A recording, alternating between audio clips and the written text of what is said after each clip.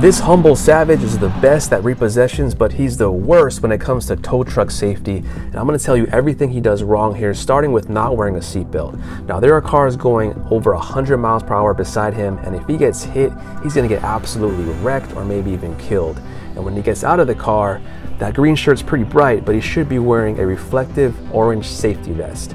Now, as he lifts this car up, we can see he's doing a pretty fast job, but there are wheel lifts that get the car up even faster than that, and he should consider purchasing that equipment. Now, when he gets out of the vehicle, he should be getting out on the passenger side, kind of do a crab walk out, go around the other way, not the way he's going right here is so close to speeding traffic put that safety light on, and never turn your back to traffic. Go around the other way once again, get in the passenger side seat, crab walk to the driver's seat, and last but not least, put your seatbelt on before you take off, just in case you get hit by a bad driver.